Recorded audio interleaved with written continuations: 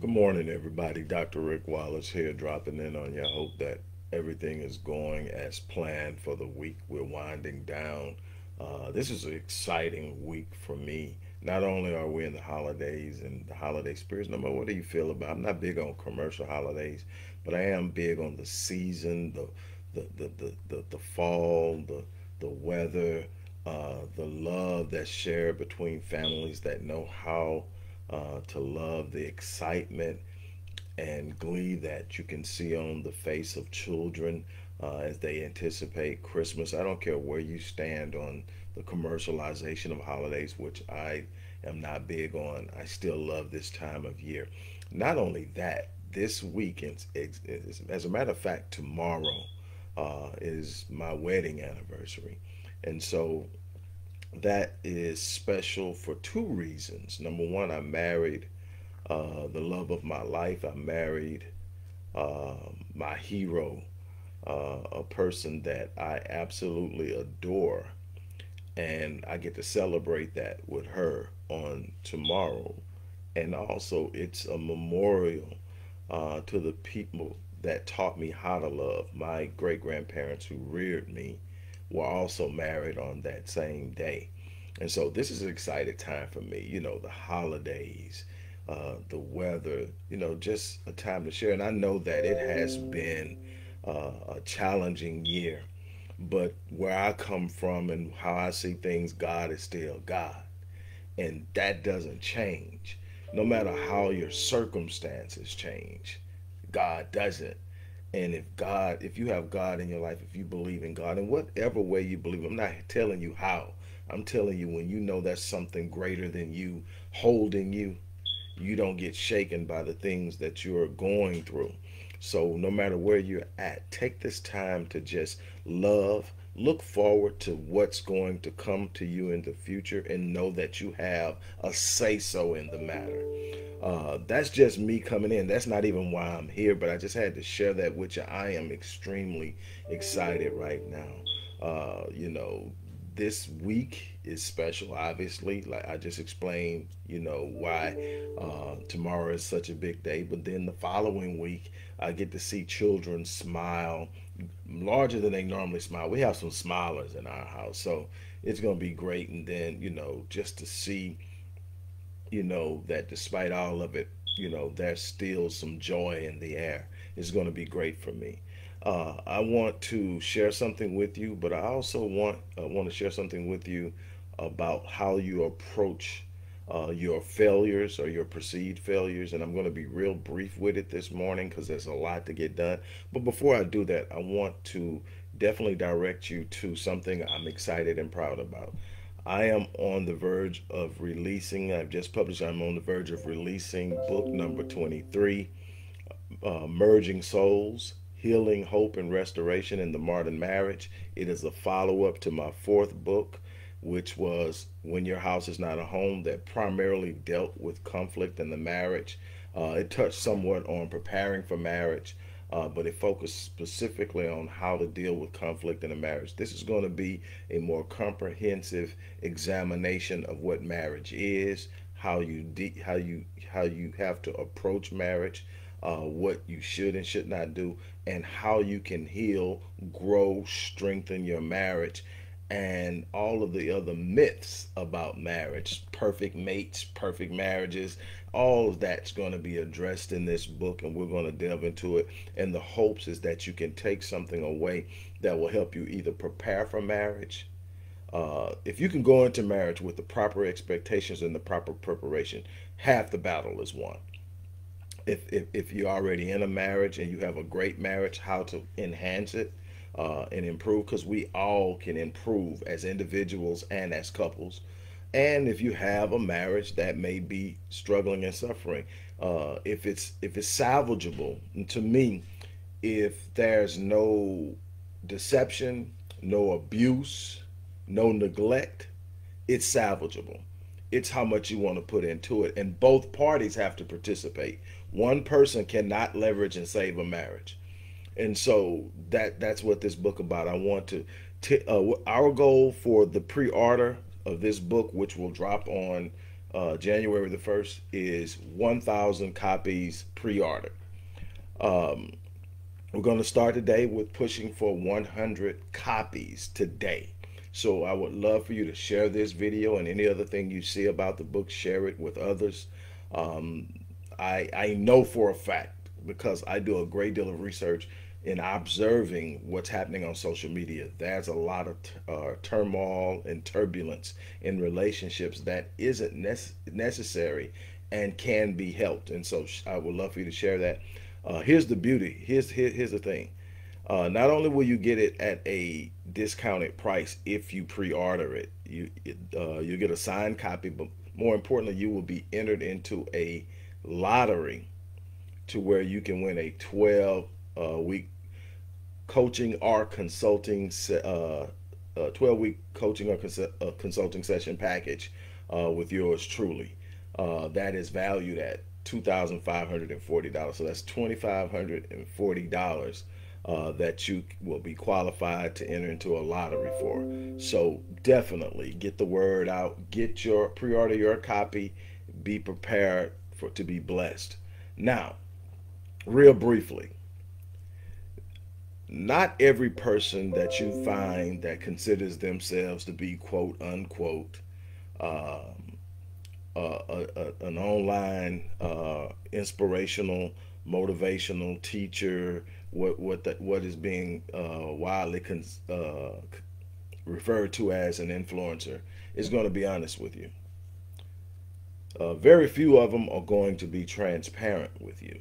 That's something that I've tried to do since I've first landed on social media and used it as a platform to spread a message.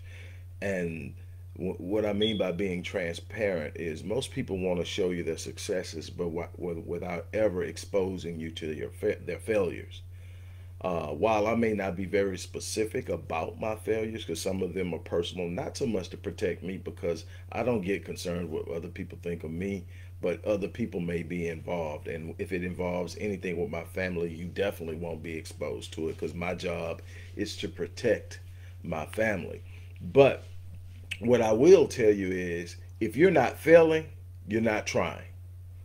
If you're not failing, you found a place of comfort that you decided to hang out at that you know if you just pretty much wake up every day and show out show up you'll get what you get and you won't ever have to experience failure but you'll never truly live you're existing but you're not living. If you're really truly trying to be the best you can possibly be, that means you're constantly exposing yourselves to things you've never done before, and you're not going to get it right the first time every time. Matter of fact, you'll rarely get it right the first time. It's about going out there and trying, it's about going out there and saying, you know what, this is what I'm capable of doing. This is what I'm going to do. The first video I did sucked Matter of fact, I had a troll that stuck with me for a year when I first started doing YouTube videos that told me how much my videos sucked and mocked how little uh, uh, uh, attention and exposure they were getting that I didn't have but so many views and I only had so many subscribers, but I didn't quit. You know what I did? Instead of making excuses, instead of blaming this person for pointing out the obvious, I decided I was going to get better. And I know by repetition, I was going to get better. I knew by being able to find a way to connect to become as authentic as myself. So, what I first thing I decided to do I'm not anyone else. I'm not anyone else out there that does this. So I'm not going to emulate anyone else. I'm going to do me and I'm going to do me the way I've always done me.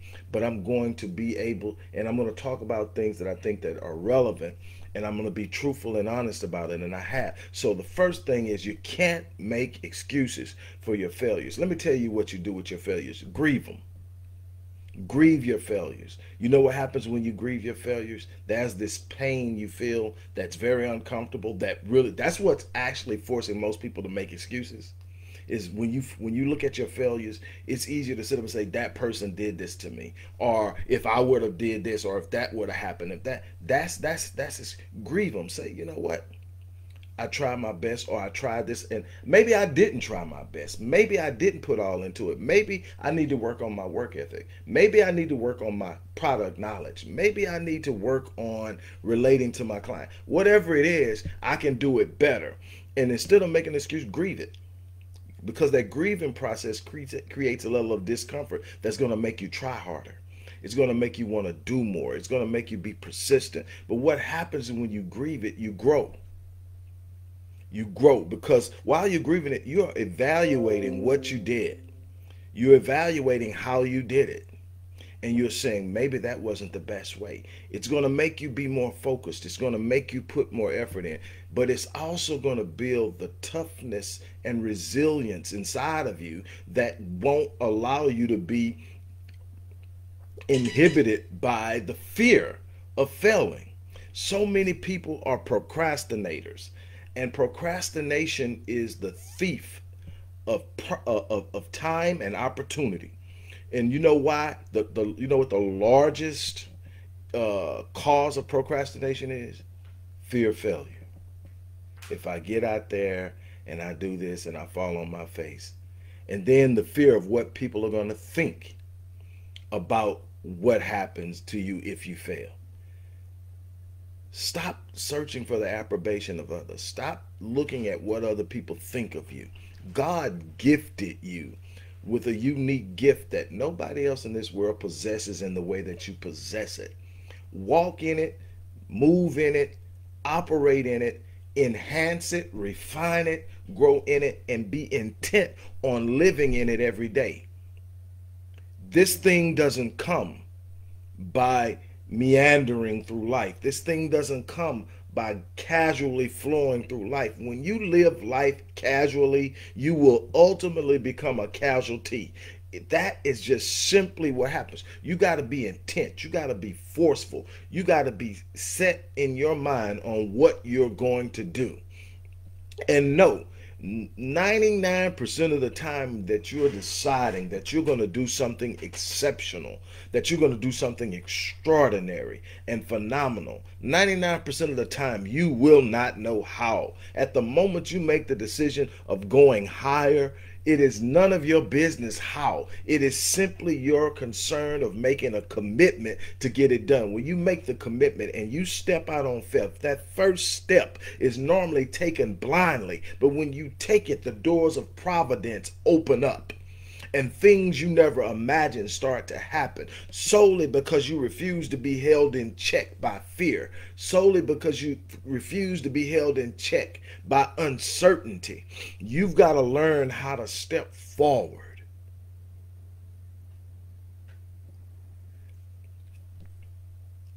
Don't make excuses. Don't point fingers of blame. It's nothing wrong with holding people accountable for the things they do definitely call them on their crap.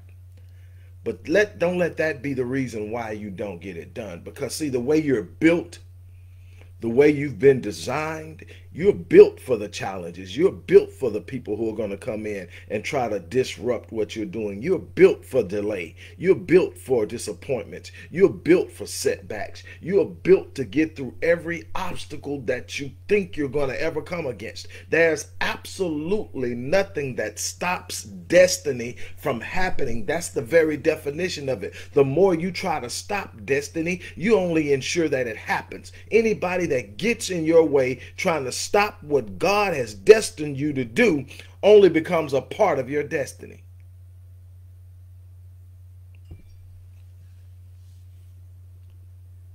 I encourage you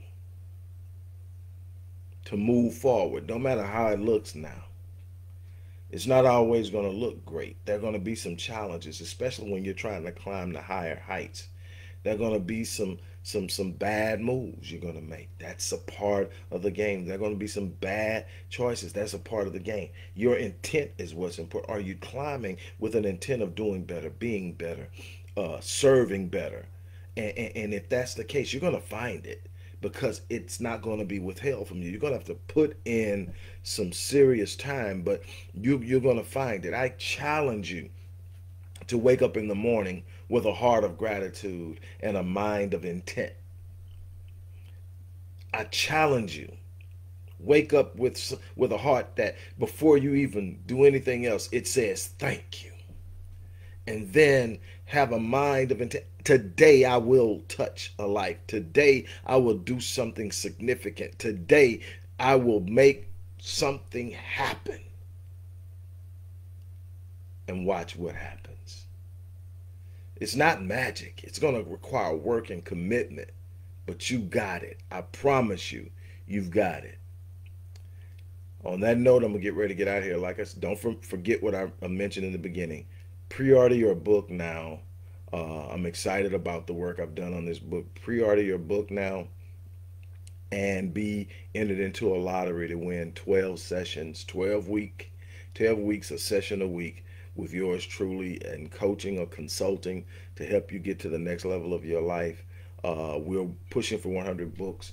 Now, get your copy, share it with someone else. These will make great post Christmas gifts, great New Year's gifts for people who want to have a better marriage uh, throughout 2021. Uh, for those who want to prepare for marriage, to have a better understanding of it, and definitely do it today. Go out, share it, make it happen. On that note, as I always say, I'm going to live my life on full so that when I leave this place, I die on E.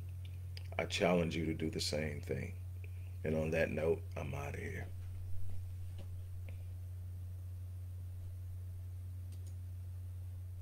Hello, everybody. Dr. Rick Wallace here, dropping in with a little special announcement for those who have followed me for any stretch of time.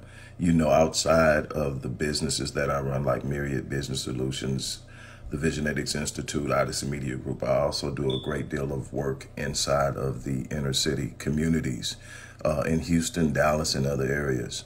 Uh, I'm asking now as we push a fundraiser that you support what the Odyssey Project is doing in the inner cities, uh, especially with programs like Black Men Lead, which is a rite of passage uh, initiative, and Restoring Ghetto for, Ghetto's Forgotten Daughters, which is a program focused on helping young girls, but boys as well, suffering from childhood sexual abuse, uh, rape, molestation, domestic abuse, uh, absentee fatherhood, and so many other things. Uh, the information will be in the box. Thank you.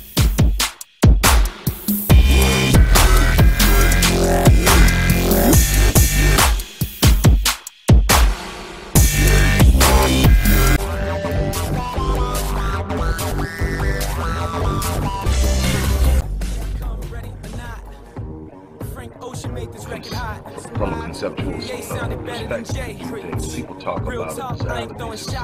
All of the elements.